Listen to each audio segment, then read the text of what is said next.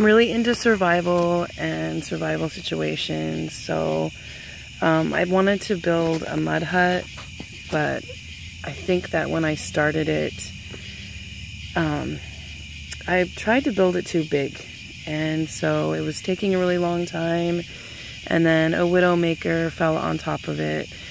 So um, I decided to try and do something a little smaller. So I wanted to try for a teepee.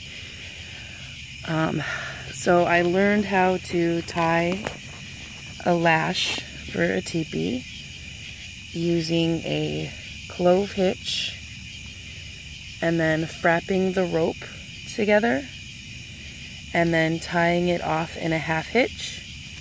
And you can see here I do have a lot of extra rope right here, but I'm just gonna save it on here and not cut the rope and just see what I can do with it, possibly hang stuff or, you know, um, whatever.